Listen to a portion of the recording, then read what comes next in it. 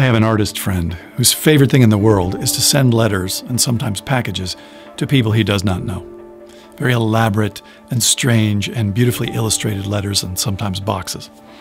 Now, back in the days of phone books, he would go to the library and he would pick out an out of state phone book and open it to a random page and just pick a recipient. And to you, this might sound absolutely pointless, but he just got a huge kick out of this. And I always thought it was sort of sad that he never really knew how they were being received. And then one summer, he found this discarded circuit board in the garbage, had a little antenna on the top, and he thought it looked a little bit like a missing piece from a time machine. So he created this odd, futuristic little handmade box, and he mailed the thing to a random dude in Olathe, Kansas, Mr. Michael.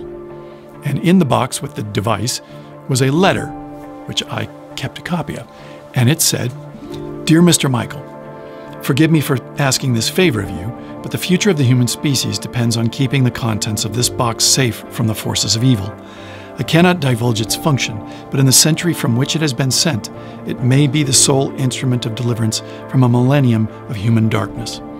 I beseech that you keep it safe and tell no one of your possessing it, surrendering it only upon your receipt of the matching piece of this torn page. And then you can see the little tear. Well, about Three months later, my friend had a lawyer pal who worked in DC send a very official looking offer to buy the circuit board for $10,000 on behalf of a collector. And when he didn't hear back after about a month, we said, You got to send another letter. So he did, this time offering to pay up to 50000 And nothing, not a peep. And I figured that was a pretty strong sign that the original box had really just gone in the garbage. But my artist friend said, Oh, ye of little faith. And he gave me the other half of the torn page and had me write to Mr. Michael asking if he would return the device to save the species. And uh,